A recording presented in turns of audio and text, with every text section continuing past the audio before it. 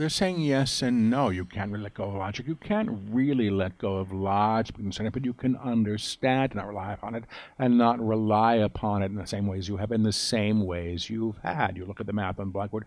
You look at the math on the blackboard. Two plus two equals four. Two plus two equals four. It's an agreed upon structure.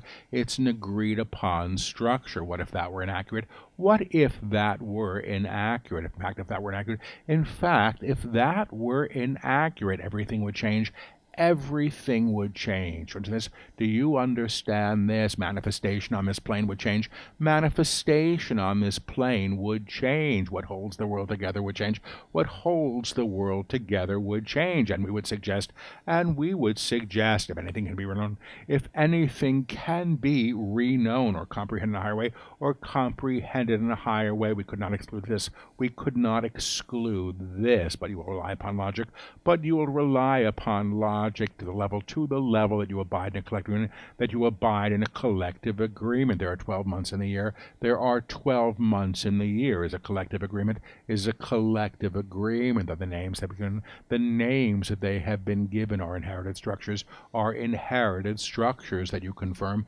that you confirm. You know what April is. You know what April is. You know your holidays. You know your holidays. You understand yourself by the days.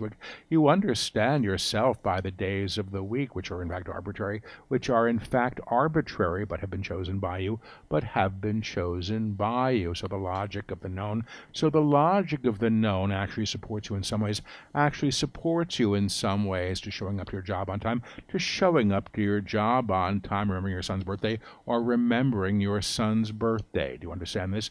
Do you understand this? There's nothing wrong with it.